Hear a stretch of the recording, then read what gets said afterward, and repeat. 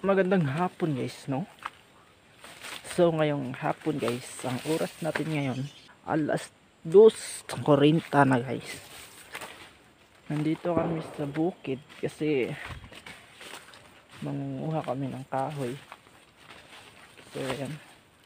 So ayan guys, ang dami ditong saging.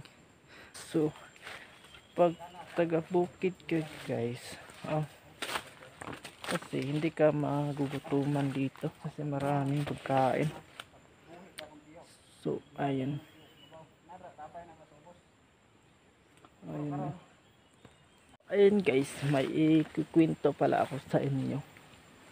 Hindi na ako mag-upload ng short order na short video kasi ang bagal ng watch hours. Ang tagal yung video ko na upload hapit na. Umabot ng 1k tapos yung watch hours ko 400 lang. So kaya hindi muna ako mag-upload ng watch hours guys. Ah, watch hours. Hindi ako mag-upload ng short video. Magbablog na lang ako na magbablog kahit kunti lang yung views ko kasi pag mahaba yung video madaming watch hours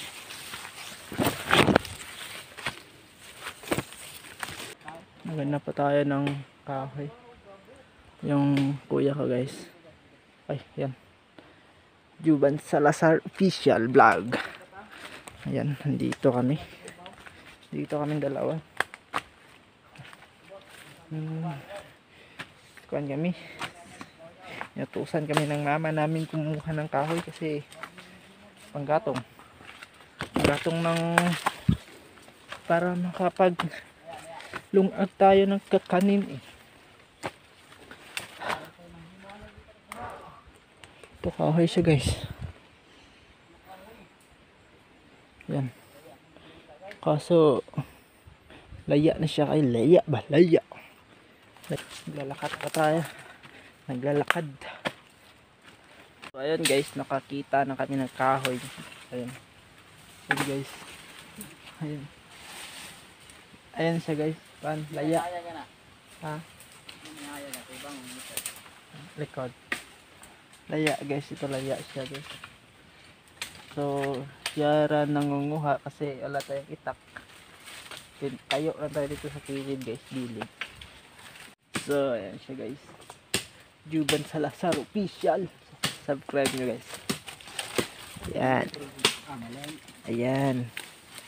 Ayan. Marami-rami na yung naipon. Dami pa siya guys.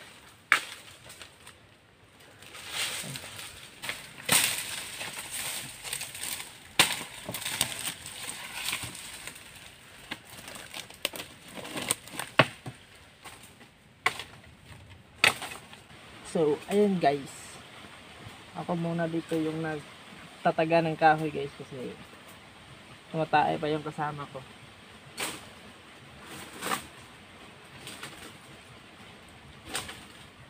Para pagdating niya guys, marami na kaming kahoy. Parang kunti na lang yung dadagdagan namin dito guys kasi marami-rami naman yung naipon namin kahoy.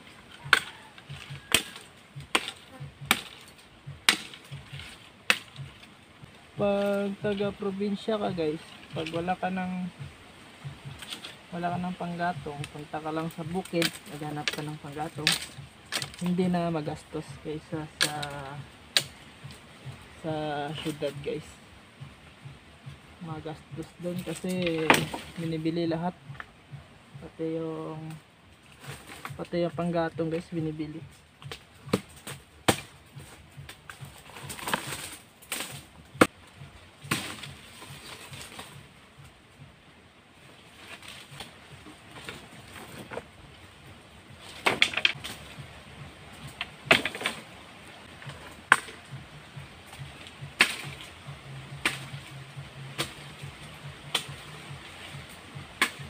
madami-dami na tayong nakukuhang kahoy. Ayan. Kunting tiis na lang guys. Ma yan makakauwi na kami kasi mukhang ulan siya guys mukhang ulan nagiba yung panahon ngayon ang init kanina tapos parang uulan siya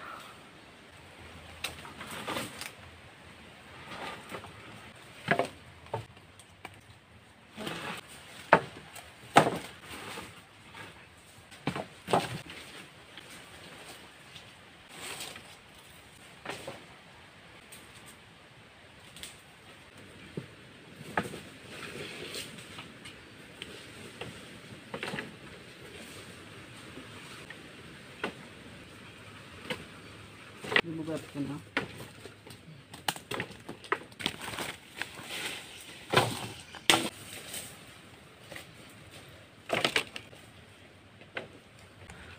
So, ayan guys. Tapos na kami kumuha ng kahoy. Kami. Ayan. Ayan yung kuya ko. So, ayan. Ayan guys, nauna. So, uuwi na kami guys. Kasi, mag alas 5 na siya. Hirap pa ng daan dito.